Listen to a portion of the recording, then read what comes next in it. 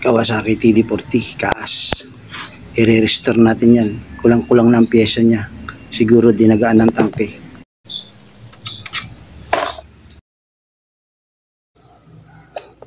Madami ng kulang sa crash cutter na ito.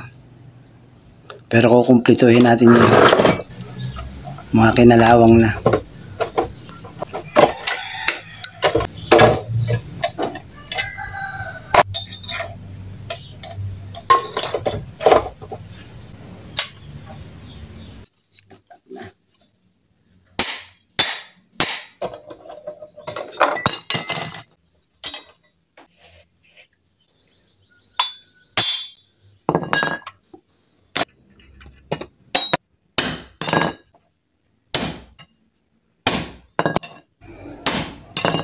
Kailangan pang martilyuhin para lang lumuwag ang mga tornilyo at mapaghiwa-hiwalay ang mga pyesa.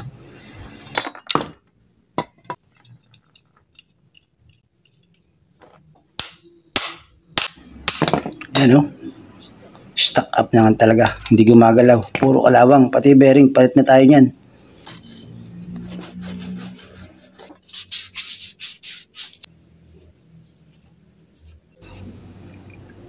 Linis-linisin muna natin bago natin i-assemble yan.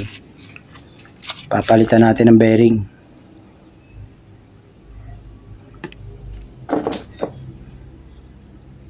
Gagawa natin ng panibagong gasket.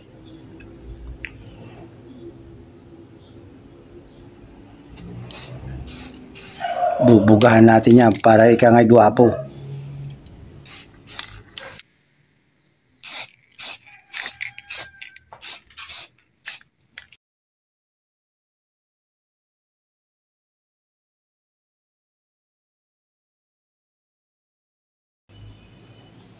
Pinalitan ko yan ng bagong tambutso. Yan ang bagong tambutso niyan. Bago na. Kakabitan ko rin yan ng bagong karburador, tangke, fuel line.